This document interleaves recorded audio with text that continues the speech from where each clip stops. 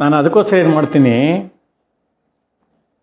ಈ ಸೀರಿಯಲಿಗೆ ಹೋದಾಗ ಕೂಡ ಆ್ಯಕ್ಟ್ ಮಾಡೋಕ್ಕೆ ಒಂದು ಮೂರು ಫ್ರೆಶ್ ಡ್ರೆಸ್ ಅಂತ ಅವ್ರು ಅಂದರೆ ನಾನು ಐದು ಹಿಡ್ಕೊಂಡು ಹೋಗ್ತೀನಿ. ಶ್ರಮ ಆದರೂ ಪರ ಹೊರಕ್ಕೆ ಅಂತ. ಏನಕ್ಕೆ ಅನ್ನಿ? ಈಗ ಉದಾಹರಣೆಗೆ, ಈ ಬ್ಯಾಕ್ಗ್ರೌಂಡ್ ಇದೆ. ಈ ಡ್ರೆಸ್ ಹಾಕ್ಕೊಂಡಿದ್ದೀನಿ ಓಕೆ. ಎರಡು ಮೂರು ಬರೀ ವೈಟ್ ಡ್ರೆಸ್ ತೊಗೊಂಬಂದ್ಬಿಟ್ಟಿದ್ದೆ ಅಂತ ಇಟ್ಕೊಳ್ಳಿ ನಾನು. ಇದೇ ಸಂದರ್ಶನಕ್ಕೆ ಎರಡು ಮೂರು ವೈಟ್ ಡ್ರೆಸ್. ಏನು ಮಾಡ್ಬೇಕು ಅವಾಗ? ವೈಟ್ ರೋ, ವೈಟ್ ಬಟ್ಟೆ, ವೈಟ್ ಗೋಡೆ. ಆಗಲ್ಲ. ಅದೇ ಥರ ಈ ಸೀರಿಯಲ್ಗಳಲ್ಲೋ ಇನ್ನೊಂದಲ್ಲೋ ಫಿಲ್ಮಲ್ಲೋ ಮಾಡುವಾಗ ಏನಾಗುತ್ತೆ? ಕೆಲವರು ಒಂದೇ ಥರ ಪ್ರಿಫರ್ ಮಾಡ್ತಾರೆ. ಅವರು ಬ್ಲೂ ಹಾಕಿದ್ದಾರೆ, ನೀವು ಯಾವ್ದಾರು ಬ್ಲೂ ಇದ್ರೆ ಹಾಕ್ರಿ. ಈ ಥರ ಕ್ಯಾಮ್ರಾಮನ್ನು ಇದ್ದಾರೆ. ಮೂರ್ನಾಲ್ಕು ಜನ ಸೆಟ್ಟಲ್ಲಿ ಫುಲ್ಲು ಗ್ರೀನ್ ಗ್ರೀನ್ ಗ್ರೀನ್ ಚೆನ್ನಾಗಿರುತ್ತೆ, ಹಾಕ್ರಿ ಅನ್ನೋರು ಇದ್ದಾರೆ. ಕೆಲವರು ಏನು ಮಾಡ್ತಾರೆ, ನೋಡಿ ಅವ್ರಿಗೆ ಗ್ರೀನ್ ಕೊಟ್ಟಿದ್ದೀವಿ ನೀವು ಇನ್ಯಾವ್ದಾರ ಬ್ಲೂನೋ ರೆಡ್ಡೋ ಯಾವ್ದಾರು ಇದ್ರೆ ಹಾಕೊಂಬರ್ರಿ ಅಂತಾರೆ.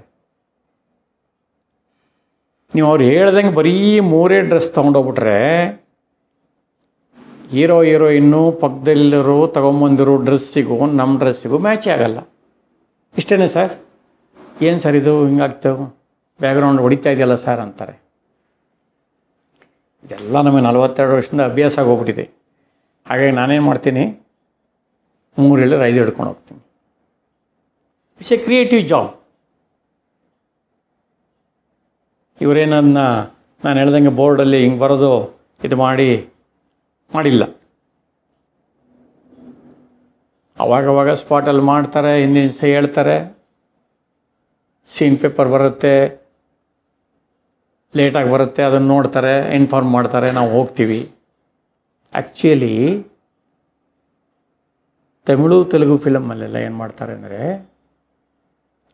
ಹಿಂದಿನ ಸಹ ಆರ್ಟ್ ಡೈರೆಕ್ಟ್ರನ್ನ ಇವ್ರನ್ನ ಕಾಸ್ಟ್ಯೂಮ್ ಡಿಸೈನರ್ನ ಎಲ್ಲರನ್ನೂ ಕರೆಸಿ ಇದು ಸೀನು. ಯಾರ್ಯಾರ ಡ್ರೆಸ್ ಹೇಗಿರಬೇಕು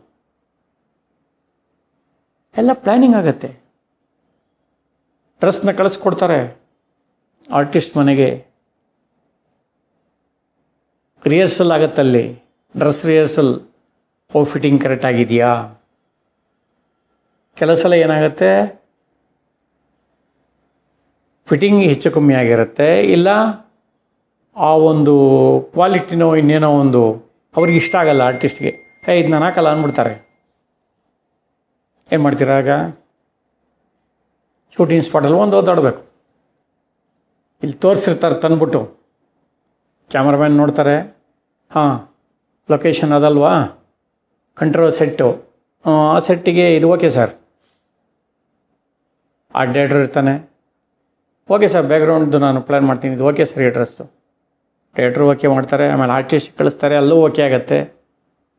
ಆಮೇಲೆ ರೆಡಿಯಾಗಿ ಬರ್ತಾರೆ ಅವರು. ಅಷ್ಟೆಲ್ಲ ಪ್ಲಾನಿಂಗ್ ಎಲ್ಲಿ ಮಾಡೋಕ್ಕಾಗತ್ತೆ? ಮಾಡಬೇಕು ಆ್ಯಕ್ಚುಲಿ ಮಾಡಿದ್ರೇ ಚೆನ್ನಾಗಿ ಬರೋದು. ಈಗ ಹಂಗಲ್ಲ ಈಗೇನಾಗ್ಬಿಟ್ಟಿದೆ ಒಂದು ಪ್ಲಸ್ ಪಾಯಿಂಟ್ ಈಗಿನವ್ರಿಗೆ ಎಲ್ಲ ಸಿ ಜಿ ಬಂದ್ಬಿಟ್ಟಿದೆ. ಬೂಸ್ಟಪ್ ಮಾಡ್ತಾರೆ ಅಲ್ಲಿ. ನಿಮ್ಮ ಜಿನಲ್ಲಿ ಈ ಡ್ರೆಸ್ಸು ಅದ್ಭುತವಾಗಿ ಒಂದು ಕಾಣಂಗೆ ಮಾಡ್ತಾರೆ. ಹಳದಿ ಹಳದಿ ಆಗಿ ಪಟ ಪಡ್ತಾವೆ ಫ್ರೆಶ್ ಆಗಿರೋ ಥರ ಮಾಡಿ. ಇದು ಲೈಟ್ ಬ್ಲೂ ಇತ್ತು ಅಂದರೆ ನಿಮಗೆ ಅದನ್ನು ಡಾರ್ಕ್ ಬ್ಲೂ. ಏನು ರಿಚ್ ಆಗಿದೆಯಪ್ಪ ಇದು? ಕಾಟಲ್ ಆಗಿರೋ ಬೆಡ್ಶೀಟ್ಗಳು. ನೀವು ಹಾಕ್ಕೊಂಡು ಡ್ರೆಸ್ಸು ಎಲ್ಲದನ್ನು ಲೈಟಿಂಗ್ ಮಾಡ್ತಾರೆ. ನೀವು ಟೈಟ್ಲಲ್ಲಿ ಅಬ್ಸರ್ವ್ ಮಾಡ್ಬೋದು. Colouring by so and so ಅಂತ ಹಾಕಿರ್ತಾರೆ. ಆ ಥರ ಎಲ್ಲ ಈಗ ಹೊಸ ಹೊಸ ಆವಿಷ್ಕಾರ ಶುರುವಾಗಿದೆ. ನಮ್ಮ ಕಾಲದಲ್ಲಿ ಅವೆಲ್ಲ ಇಲ್ಲ. ಕೂತ್ಕೊಂಡು ಪ್ಲ್ಯಾನಿಂಗ್ ಮಾಡಬೇಕು. ಇದು ಹಿಂಗಿದ್ರೆ ಚೆನ್ನಾಗಿರುತ್ತೆ, ಇದು ಹಿಂಗಿದ್ರೆ ಚೆನ್ನಾಗಿರುತ್ತೆ. ಅವಲ್ಲೇ ಅದಕ್ಕೊಂದು ಬೆಲೆ. ಬರೀ ರಿಚ್ನೆಸ್ಸೇ ನೋಡಿದ್ರಾಗಲ್ಲ ಅವನ್ನ ಮಿಡಲ್ ಕ್ಲಾಸ್ ಮನುಷ್ಯ ಅಂತ ತೋರಿಸ್ಬಿಟ್ಟು ಫುಲ್ ರಿಚ್ ಡ್ರೆಸ್ ಹಾಕ್ಬಿಟ್ರೆ ಹೇಗೆ ಸಾಧ್ಯ? ಒಬ್ಬ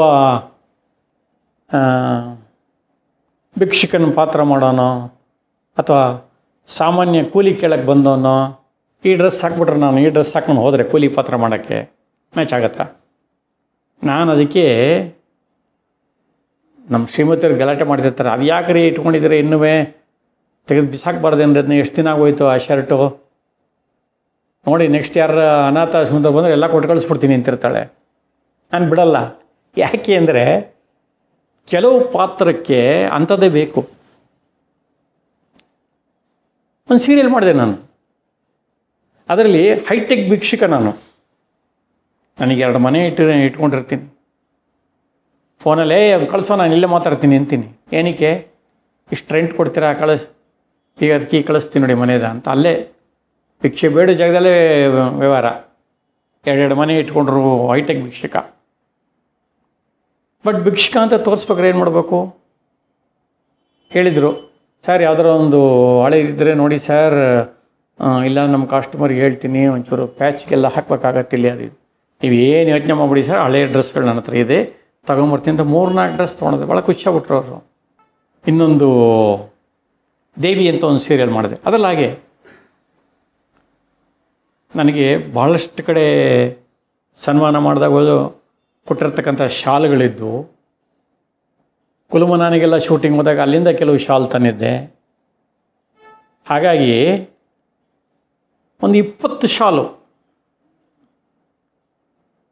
ಆಮೇಲೆ ಶಲ್ಯಗಳು. ಐದಾರು ಕಲರ್ ಪಂಚೆಗಳು. ಆ ಸ್ವಾಮೀಜಿ ಪಾತ್ರಕ್ಕೆ ದೇವಿ ಸೀರಿಯಲ್ನಲ್ಲಿ ದಿನಕ್ಕೆ ಒಂಥರ ಹಾಕೋತಾ ಇದ್ದೆ. ರೀ ನಿಮ್ಮದೇನು ರೀ ಕಾಸ್ಟ್ಯೂಮ್ ಡಿಸೈನು ಎಷ್ಟು ಸಖತ್ತಾಗಿದೆ ರೀ. ಅಂತ ಖುಷಿ ಪಡೋರು ಡೈರೆಕ್ಟ್ರು ಹಾಗೆ ಈ ಕಾಸ್ಟ್ಯೂಮ್ ಅನ್ನೋದು ಕೂಡ ಬಹಳ ಮುಖ್ಯ. ಅದರಲ್ಲೂ ನೀವು ಒಂದು ಇನ್ಸ್ಪೆಕ್ಟರ್ ಕ್ಯಾರೆಕ್ಟರ್ ಮಾಡ್ತಾ ಇದ್ದೀರಾ. ಅಲ್ಲೆಲ್ಲೋ ಟೈಟು, ಇಲ್ಲೆಲ್ಲೋ ಹಿಡ್ಕೊಳ್ಳುತ್ತೆ ಅಥವಾ ಲೂಸು, ಹಿಂಗೆ ಎಳೆದು ಕಟ್ಟಿರೋದು ಫೋಲ್ಡ್ ಮಾಡಿ ಅಸಹ್ಯವಾಗಿ ಕಾಣಿಸ್ತಾ ಇರುತ್ತೆ. ಕರೆಕ್ಟ್ ಫಿಟ್ಟಿಂಗ್ ಇದ್ರೆ ಮಾತ್ರ ನಿಮಗೆ ಆ್ಯಕ್ಟ್ ಮಾಡೋಕ್ಕೆ ಮೂಡ್ ಬರೋದು. ಒಂದು ಲಾಯರ್ ಡ್ರೆಸ್ ಆಗಲಿ, ಇನ್ಸ್ಪೆಕ್ಟರ್ ಡ್ರೆಸ್ ಆಗಲಿ, ಅಥವಾ ಒಂದು ಪೂಜಾರಿ, ಒಳ್ಳೆ ಪೂಜಾರಿ ಪಾತ್ರ. ಆವಾಗ ಅದಕ್ಕದಕ್ಕೆ ಹೊಂದುವಂಥ ಪಾತ್ರ, ಡ್ರೆಸ್ಗಳು ಇದ್ದರೆ ಮಾತ್ರ ನಿಮಗೆ ಒಂದು ಮೂಡ್ ಬರೋದು. ಮಜಾ ಸಿನಿಮಾ ಮಾಡುವಾಗಲೇ ಹಾಗೆ ಆಗೋಯ್ತು. ಆ ಮಜಾ ಕತೆ ನಿಮಗೆ ಆಮೇಲೆ ಹೇಳ್ತೀನಿ. ಏನಾಯಿತು ಅಂತ. ಆದರೆ, ಡ್ರೆಸ್ಸಿನ ಬಗ್ಗೆ ಹೇಳ್ತಾ ಇರುವಾಗ ಇವಾಗ ಆ ಪಾಯಿಂಟ್ ಹೇಳ್ಬಿಡ್ತೀನಿ. ಆ ಡ್ರೆಸ್ಸು ಸ್ವಲ್ಪ ಲೂಸ್ ಲೂಸ್ ಆಗಿತ್ತು. ಅವಾಗ ಹೇಳಿದೆ ಕಸ್ಟಮರ್ಗೆ ಇದು ಸ್ವಲ್ಪ ಸೇರಿ ಮಾಡಿಕೊಡಪ್ಪ ಅಂತ. ಅವನು ಅರ್ಧ ಗಂಟೆಯೊಳಗೆ ಕ್ಲೀನಾಗಿ ಫಿಟ್ಟಿಂಗ್ ಮಾಡಿಕೊಟ್ಟೆ.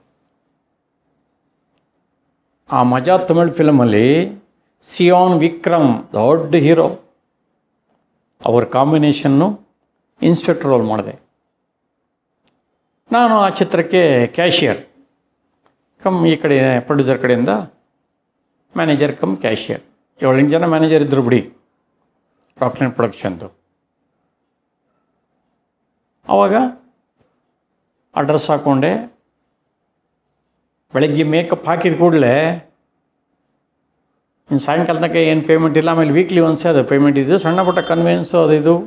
ಲೋಕಲ್ನವ್ರಿಗೆ ಬೇಕಾಗಿತ್ತು ಡೀಜಿಲೆ ಕೊಡೋಕ್ಕೆ. ಅದು ಬಿಟ್ಟರೆ ಅಲ್ಲಿ ತೆಗೆದಿಟ್ಬಿಟ್ಟೆ ಅದನ್ನ ಬ್ಯಾಗಿನ. ಎಲ್ಲ ಇನ್ಸ್ಪೆಕ್ಟರ್ ಡ್ರೆಸ್ಸಲ್ಲಿ ಆ ಕಡೆ ಹೋಗು, ಈ ಕಡೆ ಹೋಗು. ಅಣ್ಣ ಅಣ್ಣ ಅಪ್ಪಡಿ ಪಾಕ್ರ? ಬರೀ ತಲೆ ತಮಿಳ್ ಸಿನಿಮಾ ಅದನ್ನು ಅಬ್ಸರ್ವ್ ಮಾಡಿಬಿಟ್ಟಿದ್ದಾರೆ ಇವರು. ವಿಕ್ರಮ್ ಸರ್ ನಾವು ರೆಗ್ಯುಲರ್ ಆರ್ಟಿಸ್ಟ್ ಅವರು. ಕರೆಕ್ಟ್ ಇನ್ಸ್ಪೆಕ್ಟರ್ ಇನ್ವಾಲ್ವ್ ಆಯ್ತಾರೆ. ಹೊಡ್ತಾ ಇದ್ದಾರೆ ಅವರು. ಆ ಕರೆಕ್ಟ್ ಫಿಟ್ಟಿಂಗ್ ಇರೋ ಡ್ರೆಸ್ ಹಾಕಿದ ಕೂಡಲೇ ಆಟೋಮೆಟಿಕ್ ಮೂಡ್ ಬಂದ್ಬಿಡುತ್ತೆ. ಅದಿಲ್ಲ ಅಂದರೆ ಏನಾಗುತ್ತೆ? ತಪ್ಪು ತಪ್ಪೆ ಆಗಿರೋ ಪ್ಯಾಂಟ್ ಹಾಕ್ಕೊಂಡು ನೋಡೋಕ್ಕೂ ಅಸಹ್ಯ. ಮೊದಲೆಲ್ಲ ಹಾಗೆ ಮಾಡೋರು. ಕಲಾವಿದಗಳು ಯಾರೂ ಟ್ರಿಮ್ ಡ್ರೆಸ್ ಮಾಡ್ತಾ ಹೇರ್ ಕಟ್ ಮಾಡಿಸ್ತಾ ಇರಲಿಲ್ಲ. ಅವಾಗೆಲ್ಲ ಹೆಪ್ಪಿ ಸ್ಟೈಲ್ ಇತ್ತಲ್ಲ ಅವಾಗ. ಅವಾಗ ತುಂಬ ಜನ ಹೀರೋಗಳು ಇಲ್ಲಿವರೆಗೆ ಕೂದಲು ಇಲ್ಲಿವರೆಗೆ ಕೂದಲು. ಅವರಿಗೆ ಇನ್ಸ್ಪೆಕ್ಟ್ರ್ ಪಾತ್ರ ಬಂದು ಮಾಡೋದು ಕಂಟಿನ್ಯೂಟಿ ಕಟ್ ಮಾಡೋಕ್ಕಾಗಲ್ಲ ಅನ್ನೋರು. ಭಾಳ ಕಷ್ಟ ಆಗೋದು. ರೀಸೆಂಟಾಗಿ ಚಕ್ರವ್ಯೂಹ ನಮ್ಮ ಒಪ್ಪಿಸ್ ಅಪ್ಪು ಅಪ್ಪು ಅವ್ರದ್ದು. ಅದೆಲ್ಲ ಹಾಗೆ ಆಗೋಯ್ತು. ಸ್ವಲ್ಪ ಜಾಸ್ತಿ ಇತ್ತು ಕೂದಲು ಇವರಿಗೆ ರಂಗಾಯಣರಿಗೂ ಅವರಿಗೆ ಏನು ಮಾಡ್ರ, ಕ್ಯಾಪೆ ಕೂರ್ತಾ ಇಲ್ಲ. ಆಮೇಲೆ ಡೈರೆಕ್ಟ್ ರಿಕ್ವೆಸ್ಟ್ ಮಾಡೋರು ಸರ್ ಸ್ವಲ್ಪನಾದ್ರು ಟ್ರಿಮ್ ಮಾಡಲೇಬೇಕು ಸರ್, ಇಲ್ಲ ಅಂದರೆ ಕಷ್ಟ ಆಗತ್ತೆ ಆಮೇಲೆ ಮಾಡಿಸಿದ್ರು ಅವರು. ಹಾಗೆ ಆ ವಿಷಯದಲ್ಲಿ ನಮ್ಮ ಶಂಕರಣ್ಣ ಇನ್ಸ್ಪೆಕ್ಟರ್ ಅಂದರೆ ಇನ್ಸ್ಪೆಕ್ಟ್ರೇ ಅವರು. ಎಸ್ ಪಿ ಸಾಂಗ್ಲೇನದಲ್ಲಿ ಸಾಂಗ್ಲಿಯಾನದಲ್ಲಿ ಮತ್ತು ಸಿ ವಿ ಶಂಕರ್ನಲ್ಲಿ ಅವರ ಖಡಕ್ ಏನು ಲುಕ್ ಇದೆ ಹೇರ್ ಸ್ಟೈಲು ಅವೆಲ್ಲ ಭಾಳ ಅದ್ಭುತ.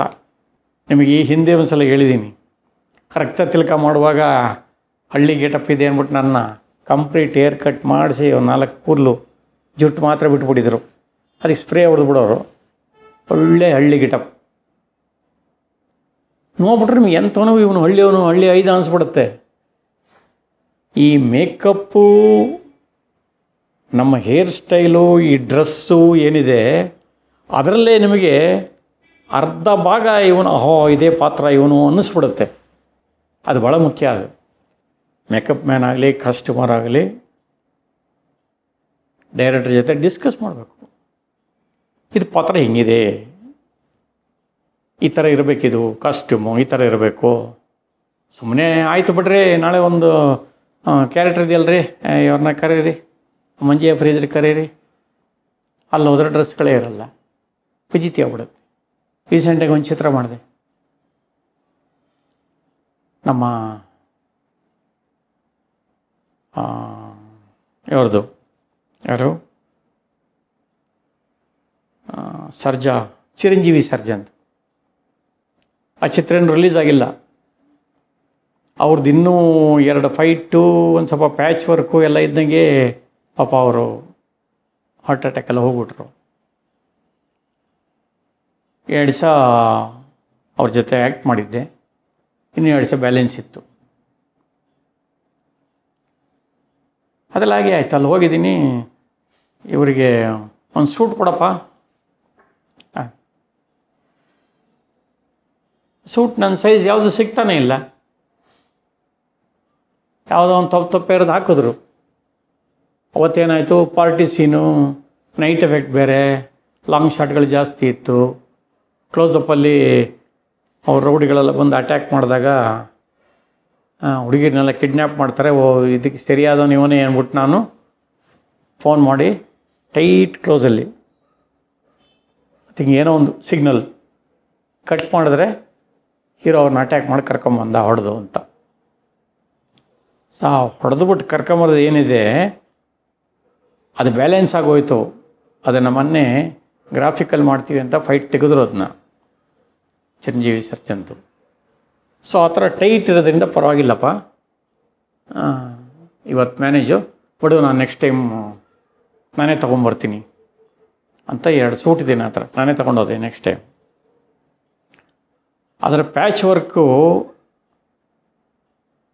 ಮೊನ್ನೆ ರೀಸೆಂಟಾಗಿ ತೆಗೆದ್ರು. ಒಂದು ರೀಸೆಂಟ್ ಅಂದರೆ ಆಗಲೇ ಒಂದು ವರ್ಷ ಆಗೋಯ್ತು. ಒಂದು ವರ್ಷದ ಕೆಳಗೆ. ಆವಾಗ ನನ್ನ ಸೂಟೆ ತೊಗೊಂಡೋಗ್ಬಿಟ್ಟೆ. ರಾಮಾಯಣನೇ ಬೇಡ ಇದು. ಈ ವಿಷಯ ಬಂದಿದ್ರೆ ಹೇಳ್ತೀನಿ. ಅವರು ಅವತ್ತು ವೈಟ್ ಫೀಲ್ಡಲ್ಲಿ ಶೂಟಿಂಗ್. ಸರ್, ಬಂದ್ಬಿಡಿ ಸರ್. ಕ್ಯಾಬ್ ಮಾಡ್ಕೊಂಡು ಬಂದ್ಬಿಡಿ ಸರ್, ಕೊಡ್ತೀವಿ. ಆಯಿತು. ಕ್ಯಾಬ್ ಮಾಡ್ಕೊಂಡು ಹೋದ್ವಿ ಪ್ಯಾಕಪ್ ಆದಮೇಲೆ ಅರ್ಧ ಗಂಟೆ ಆಯಿತು ಒನ್ ಅವರ್ ಆಯಿತು. ಪ್ರೊಡ್ಯೂಸರ್ ಕಡೆಯಿಂದ ಯಾರೂ ಬರಲೇ ಇಲ್ಲ. ಮ್ಯಾನೇಜಿಂಗ್ ಕೇಳಿದ್ರೆ ಪ್ಯಾಚ್ ವರ್ಕ್ ಸರ್ ಇದು. ನಾನು ಬಂದಿರೋದು ಇವತ್ತೇನೆ. ನನಗೆ ಹೆಂಗೆ ಗೊತ್ತಿಲ್ಲ ಸರ್ ಯಾರಿಗೂ ಪೇಮೆಂಟೇ ಇಲ್ಲ. ಕನ್ವೀನ್ಸೂ ಇಲ್ಲ. ಡೈರೆಕ್ಟ್ರು ಅನಿಲ್ ಕುಮಾರ್ ಅಂತ ನಾನು ಸರ್ ನಾನು ಹೇಳ್ತೀನಿ. ಅಡ್ಜಸ್ಟ್ ಮಾಡ್ಕೊಂಡು ಹೋಗಿ ಸರ್ ದುಡ್ಡೆಲ್ಲಿದೆ. ಅಲ್ಲಿಂದ ಬಂದಿದ್ದರೆ ಖಾಲಿ ಆಗೋಯ್ತು. ಸರಿ, ಮನೆ ಹತ್ರ ಹೇಳ್ಕೊಳ್ಳೋದು ತಾನೇ ಹೇಗೋ? ಮಿಸಸ್ ಹತ್ರ ಬೈಸ್ಕೊಂಡು ಅಲ್ಲಿ ದುಡ್ಡು ಆಯಿತು ಅಂತ ವಾಪಸ್ ನಾನೇ ಹಾಕ್ಕೊಂಬಂದೆ ಸೊ ಅವತ್ತಿನ ಪೇಮೆಂಟು ಇಲ್ಲ, ಎರಡು ಸದ್ದು ಇದು ಇಲ್ಲ. ಆಗಲೇ ಒಂದು ವರ್ಷ ಕೆಳಗೆ ಮಾಡಿದ್ದು. ಈಗ ಒಂದು ನಾಲ್ಕೈದು ತಿಂಗಳ ಕೆಳಗೆ